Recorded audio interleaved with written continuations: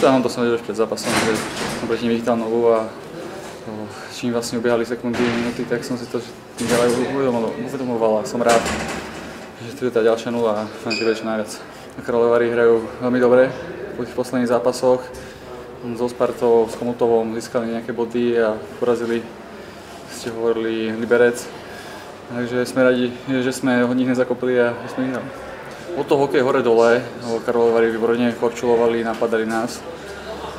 Nastávali sa až do takých vyložených šancí ako my. Chytal veľmi dobre závorka, golman. Ďakujem tomu to bolo tak tesné až do.